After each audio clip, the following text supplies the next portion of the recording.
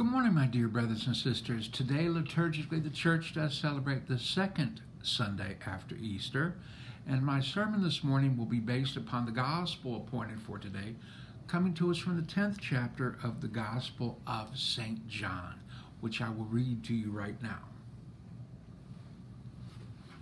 Jesus said, I am the good shepherd. The good shepherd giveth his life for the sheep. But he that is a hireling, and not the shepherd, whose own the sheep are not, seeth the wolf coming, and leaveth the sheep, and fleeth. And the wolf catcheth them, and scattereth the sheep. The hireling fleeth, because he is a hireling, and careth not for the sheep. I am the good shepherd, and know my sheep, and am known of mine. Even as the Father knoweth me, and I know the Father, and I lay down my life for the sheep. And other sheep I have, which are not of this fold. Them also I must bring, and they shall hear my voice, and there shall be one flock and one shepherd. Here endeth the gospel. Praise be to thee, O Christ. In the name of the Father, the Son, and the Holy Ghost. My dear friends in our Lord Jesus Christ. In the passage that I just read to you, coming to us from the 10th chapter of the Gospel of St. John, St. John is so kind to, again, write down these words for us the words of our blessed Savior. And certainly they are very appropriate in the sense that our blessed Lord is speaking about himself being known as the Good Shepherd.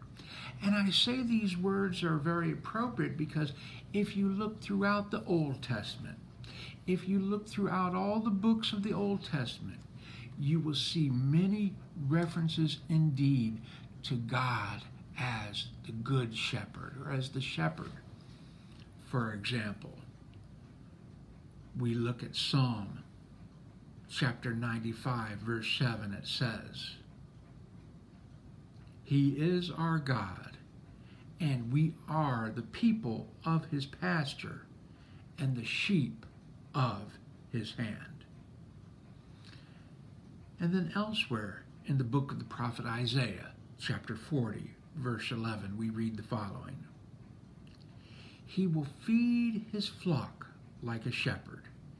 He will gather the lambs in his arms and will carry them in his bosom and gently lead those that are with young. So you see, dear friends, it was certainly appropriate, it was certainly apropos that our blessed Lord would speak of himself as the Good Shepherd.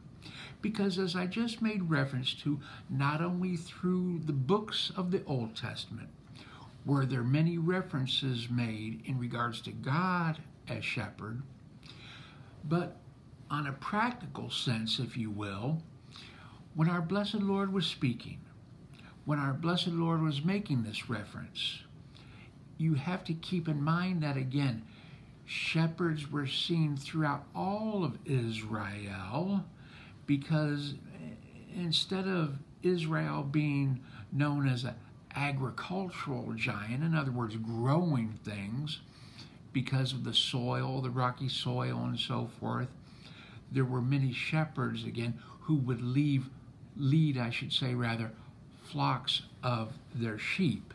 And this was seen throughout all of the region, throughout all of Israel, Judea, and so forth. And so, as a result, when our blessed Lord spoke of this and made reference to this, the people understood exactly what he meant.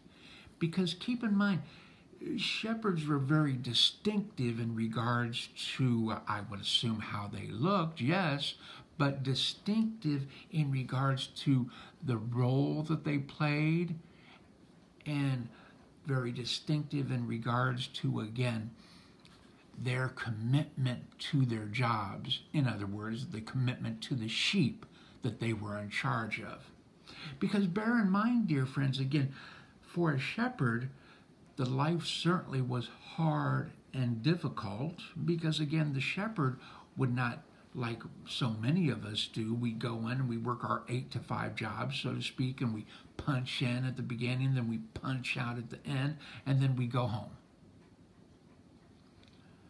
No, the shepherd would literally be out in the fields with the sheep. Again, he would lead the sheep where he would want them to go, where they needed to go. He would never be off duty, in other words, because he was always with the sheep, watching over them, leading them, protecting them, protecting them not only from other wolves or, or beasts of the wild, if you will, but also from robbers who were interested in robbing the sheep, stealing them away.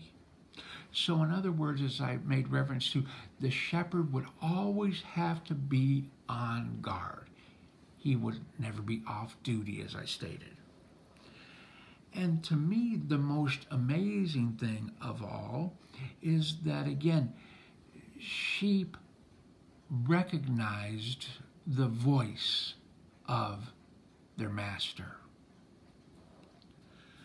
So the shepherd would again speak to the sheep and they would recognize his voice. Certainly, this is why I stated in what I read to you, dear friends, this passage from St. John's 10th chapter. Our blessed Lord makes, in my opinion, in this snippet, if you will, from this 10th chapter, our blessed Lord makes two main points. That A, the shepherd is willing to lay down his life for the sheep. And as I made reference right now a little bit ago, dear friends, again, I think I showed that very well. The shepherd was always with the sheep, leading the sheep, taking care of the sheep. And again, certainly they would be willing to lay down their life for their sheep because, again, that was their livelihood, that was their life. This is why, dear friends, our Lord makes the distinction between someone who is truly a shepherd who cares for his sheep, who truly takes care of his sheep, who the sheep are a part of him, so to speak, as opposed to contrast this with, as our Lord says, the hireling. The hireling is someone who is just there to make a buck. And then he leaves. The sheep get eaten by a wolf. Eh, I'm still going to get my pay.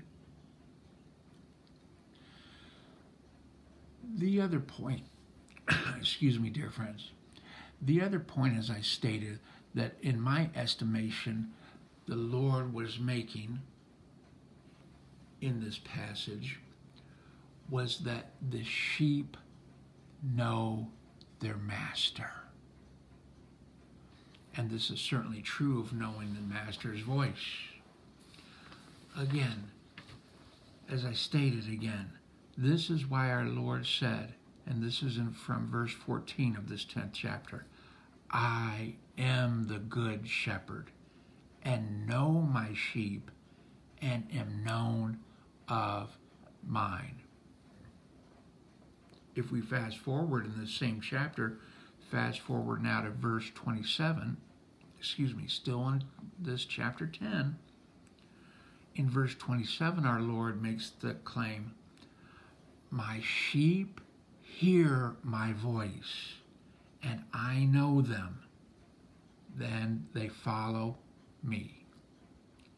As I made reference to, dear friends, again, the sheep would indeed know their master's voice. The sheep would know and recognize the voice of the shepherd who took such good care of them, who led them, led them to be fed, took care of them, watched over them, lived with them. They knew his voice. They recognized his voice. So, this is why, again, our Lord makes the claim that He indeed is the Good Shepherd and that we know his voice.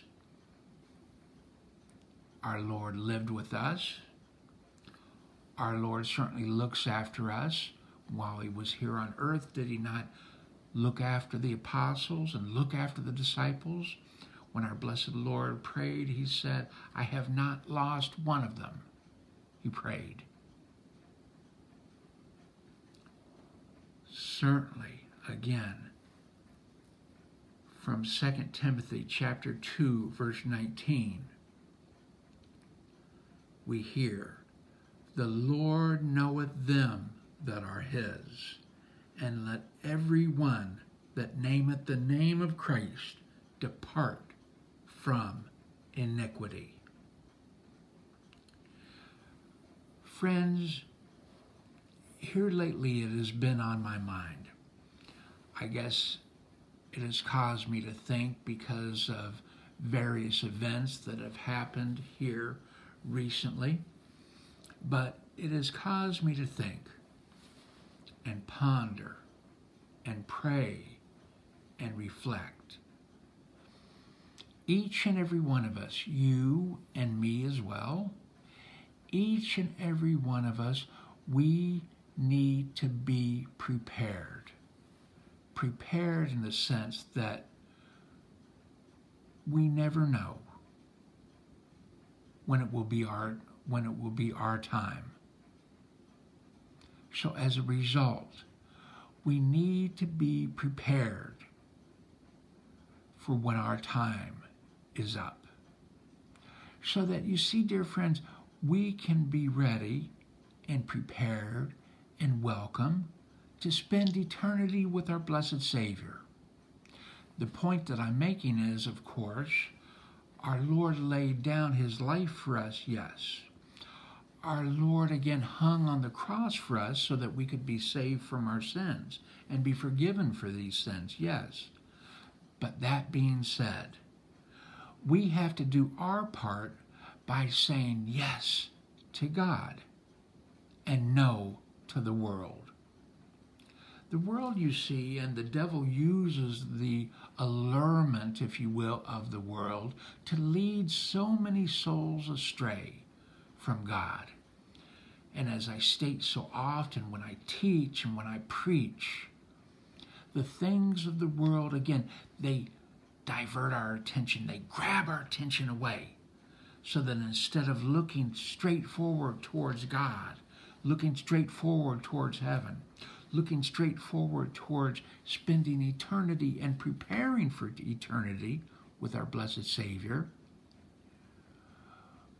we are caught off guard because we are enamored with the things of the world, with the pleasures of the world, with again the things that the world is, trying to grab our attentions away from Again, dear friends, we need to again always keep our eyes forward so that we are always looking towards God and always looking towards the things of God. Bear in mind, dear friends, this is why I say these, world, these words, because again, we should not be caught off guard. We should always be prepared again when our time comes. So again, let us spend this day again thanking God for the many blessings that He's bestowed upon us the gift of life, the gift of freedom, the gift of forgiveness, the gift of salvation that God offers freely to each and every one of us. And let us also pray again that we will have the insight to always stay close to our blessed Lord, to know His voice, to always stay close, as I like to say, to His most sacred heart, so that we can spend this life with Him in preparation for the ne- next life, which, of course, eternity spent in His blessed presence. And so I ask God this day to bless you, to bless you richly, to bless you, your friends, your family, your loved ones. In the name of the Father, the Son, and the Holy Ghost, God bless each and every one of you, dear friends.